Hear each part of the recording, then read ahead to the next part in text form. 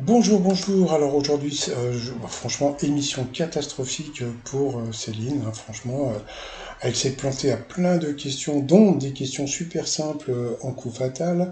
En coup de maître, elle s'est plantée. Bien, franchement, la, question quel objet trouve-t-on par dizaines sur la tombe de Serge Gainsbourg? Donc, elle est partie sur des Scooby-Doo. Je sais pas, on aurait pu penser à des mégots.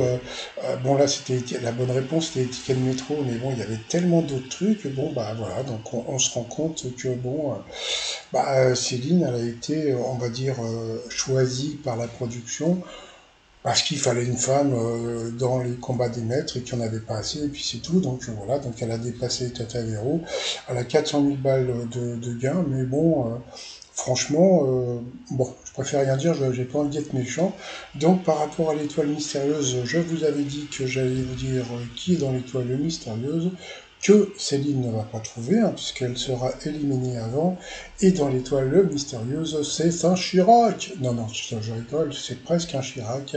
C'est Kenji Girac dans l'étoile mystérieuse. Et oui, c'est étonnant parce que bon, c'est quelqu'un, on va dire, de, de très populaire. C'est pas, vous voyez, d'habitude, bon, c'est des, des, acteurs euh, qu'on connaît mais pas trop, etc. Tandis que là, c'est vraiment une, on va dire, euh, une célébrité française. Donc euh, voilà, donc c'est Kenji dans l'étoile mystérieuse. Donc je vous donnerai tous les éléments. Il va y avoir le drapeau libanais, il va y avoir plein de trucs. Je remercie encore la personne qui m'a donné tous ces éléments.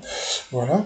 Par contre, alors bon, les poules mouillées qui n'ont qui toujours pas dit comment la maîtresse de midi allait être éliminée. Donc euh, ça, j'attends le 24 pour m'amuser avec eux quand je vais les, quand je les verrai dans l'émission. Donc ou sinon, sait-on jamais s'il y a quelqu'un qui a plus de coronets que d'autres sur le étoile de midi à outlook.fr. Sinon, je vais vous souhaiter une agréable journée. Et puis, euh, tiens, j'avais j'ai envie d'aller faire un tour à la Gay Pride.